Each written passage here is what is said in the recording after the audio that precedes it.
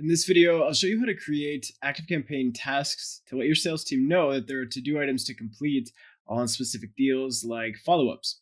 I'm Jason, growth specialist at Wildmail, where we help make ActiveCampaign even better for Europe-based businesses. Let's dive in.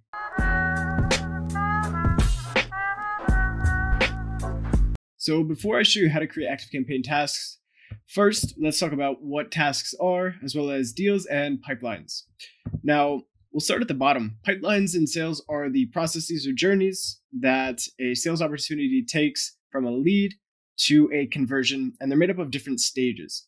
All right, so in those pipeline stages, we have deals, and deals are the records for your contacts that have entered into the pipeline, and they're on track to becoming customers and converting.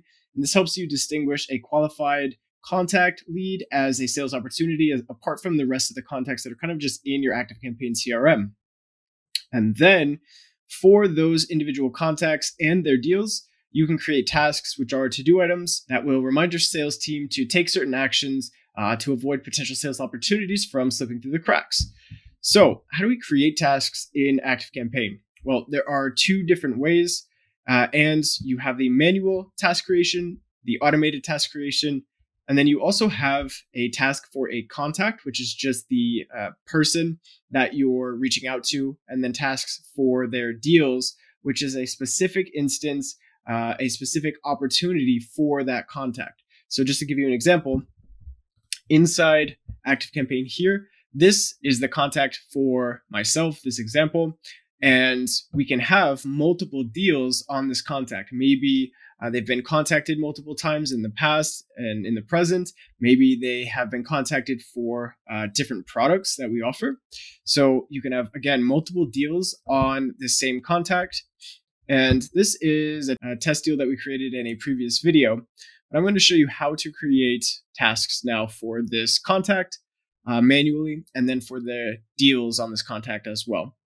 So I'm inside ActiveCampaign in contacts and I've gone to this uh, example contact here.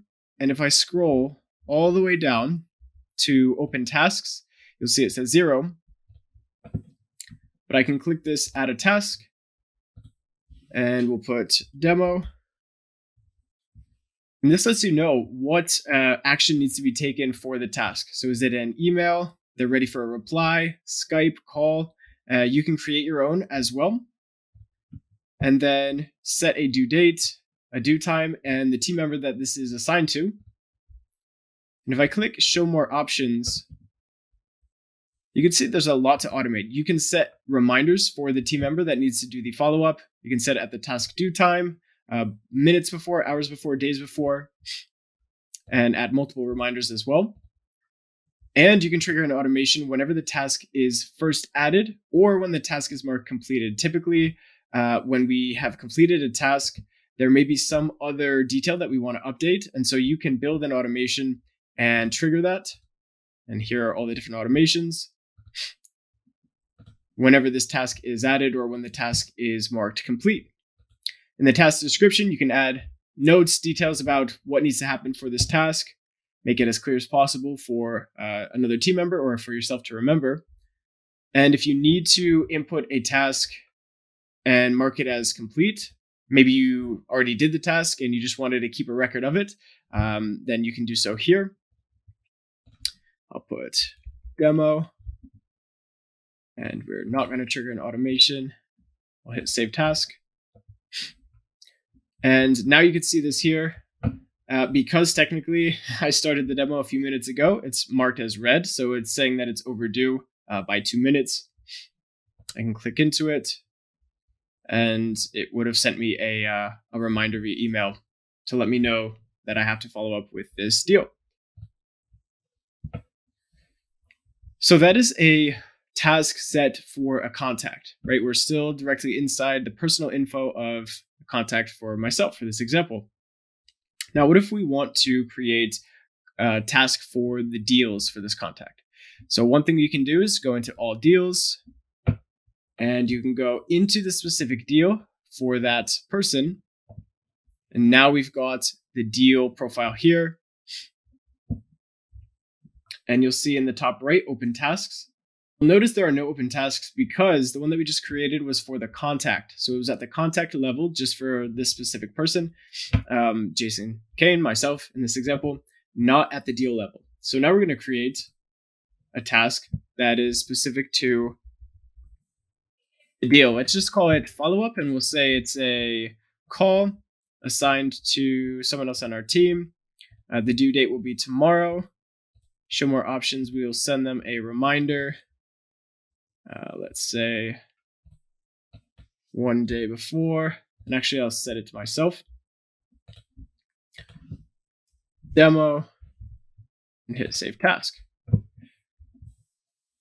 All right, and now we have this here call follow up assigned to our sales team member. We have the due date, and if I click in, it'll give me you know the notes. I can delete it, save it, edit it. And the final way that we can create a deal task is by going directly into the deals pipeline over here. Click into a deal, and now we're right back into the deal profile, and we can go ahead and add the task.